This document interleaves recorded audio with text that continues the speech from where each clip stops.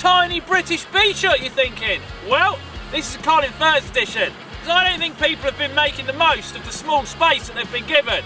Come and have a look at this. You're going to like this.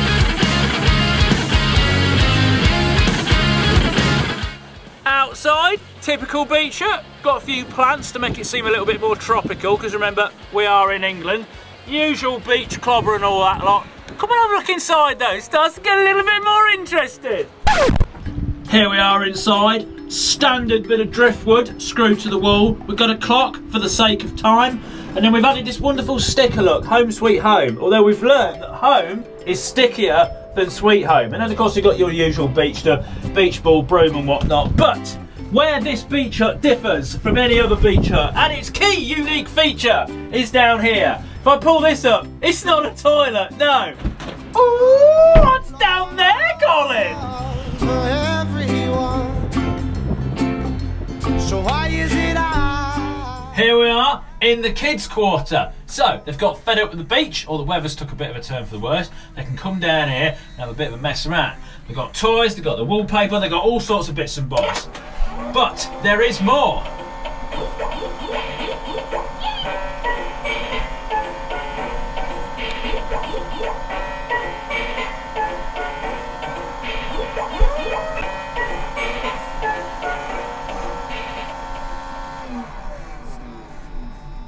Yes, have a look at this. Under here.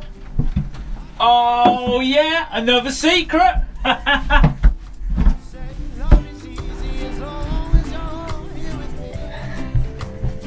Here we are in the basement of our beach hut. We're now full two stories down in the sand. And this is where the adults come to relax. We've got everything they want. We've got a nice comfy chair.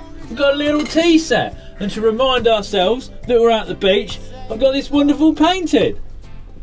Look, there's a boat. Now we did struggle to get this painting down here, but there is always a way. Now if you want to see how we built this, because we actually dug this whole thing by hand and constructed it on the beach here, there's going to be a link to the build video which is in the outro. But there we are, this is the subterranean beach hut and I think this is the future. Because you know, just having one hut on the surface, people are missing out. This is the way forward.